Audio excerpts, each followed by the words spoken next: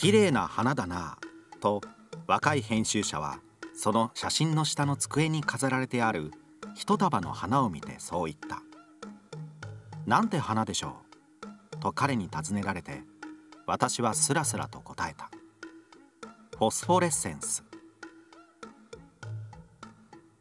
太宰治の短編の名を持つ古本カフェフォスフォレッセンス。太宰治を敬愛する店長が文学散歩や太宰ゆかりの場所巡りに三鷹を訪れた時ほっと一息するサロンが欲しいと思い自ら作ったのがこちらのお店。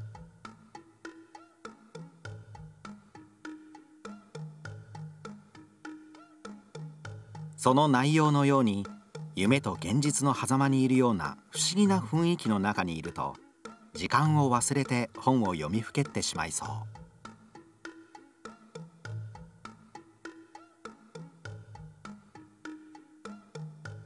店内には太宰治の本をはじめさまざまな古本が所狭しと置かれ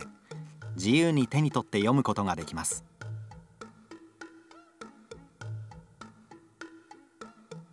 まさに文学の街三鷹ならではのカフェ。